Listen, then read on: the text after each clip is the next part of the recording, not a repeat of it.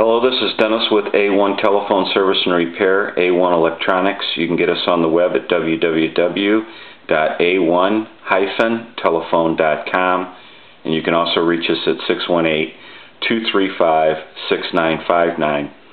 Today I want to show you uh, the initial checkout of a, this is an Italian telephone and um, it's really a very cool telephone. It's made in Italy and uh, we have the dial pad here and the telephone. It's all apart um, because basically um, uh, we're, we're going to have to do a board change on this telephone. Uh, NADA, NADA, N-A-D-A, I hope I'm pronouncing that right, from Massachusetts sent this telephone in. And um, basically uh, we're getting ready to do a board change. Uh, I've worked on quite a few of these boards and a lot of telephones from Italy in the past, but um, I'm familiar with this board here and this board was really just kind of a pain in the neck. Um, she's complaining that this telephone, she never really did get to use this telephone very much at all and she's got a note explaining how she's contacted the maker and um, uh, they won't help her with it and uh, they won't do anything for her. The problem is, is this telephone won't dial out.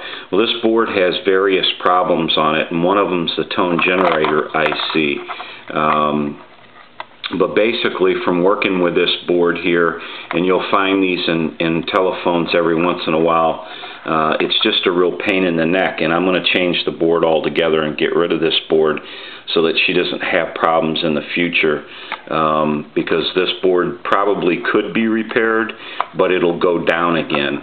Um, it, they're just a, just a really pain in the neck on this type of board here. Um, I didn't necessarily have to take the keypad apart because I can map out um, for my next board, I can map out just by the wires um, and, and, testing them with a tester and finding out what my numbers are. But um, I couldn't get the redial. And I'm going to show you a little momentary switch here. This little momentary switch uh, was bad on the redial. And so it's a good thing that uh, that I was mapping this out because the redial did not work. And so I have uh, replaced um, the redial uh, momentary switch on this. And this is the old one here. It doesn't read all the time. It's a bad uh, momentary switch. So we replaced that. Now what I'm going to do is I'm going to put all the dial uh, back together again. And uh, get ready to um, incorporate uh, this plug and uh, the one on this board here and then I'll run some uh, wiring harness over to the new board and uh, we'll get rid of this board altogether. Um, it'll get a little entailed because I've got to hook up uh, the bell switch and um, the pulse and tone on the bottom of this telephone here. We want to hook all that up and then rehook up our hook switch and everything.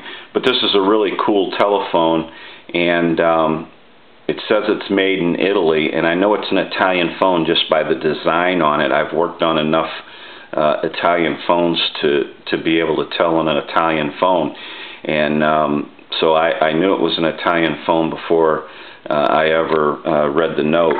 Um, but she's contacted the company. They won't help her with it. Um, they're just kind of giving her the runaround, and and they won't work on these phones or do anything for her. So that's why she has sent it in to us, and uh, we're going to get her squared away, and we're going to get rid of this board here. That's uh, not a very good board. It's, it wasn't a very good design and uh, there was a lot of problems with this board. So we'll get her squared away and get this phone taken care of. Hopefully I can do another video of this telephone when I finish up.